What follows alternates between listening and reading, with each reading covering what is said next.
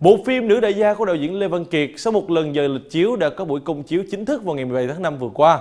Đây là tác phẩm điện ảnh đang rất được trông đợi bởi có sự tham gia lần đầu tiên của nữ MC Nguyễn Cao Kỳ Duyên với vai diễn chính. Bên cạnh hai chị em nhà phỏ đó là Thúy Vinh và Thúy Hiền. Nữ đại gia xoay quanh Kim Anh, một bà mẹ đơn thân giàu có, nhưng đứa con gái hư hỏng vì không được quan tâm chăm sóc. Mối quan hệ với Cường, một tay anh chị xã hội đen đã đưa Kim Anh từ một phụ nữ bán đậu hũ trở thành một nữ đại gia. Nhưng cũng chính mối quan hệ này đã đẩy hai mẹ con đến bên bờ vực cái chết trước khi họ tìm cách thoát ra khỏi và hiểu nhau hơn. Nữ đại gia là một phim tâm lý hình sự được đầu tư kỹ lưỡng trong từng cảnh quay, đặc biệt là các pha hành động mãn nhãn đến nghẹt thở. Nguyễn Cao Kỳ Duyên lần đầu tiên trong vai trò diễn viên nhưng đã hoàn thành vai diễn một cách rất tự nhiên.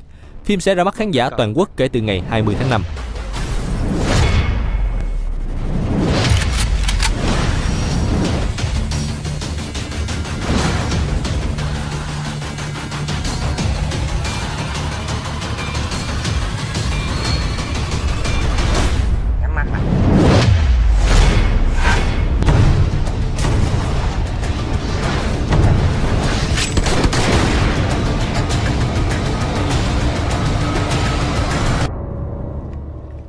Giờ làm gì?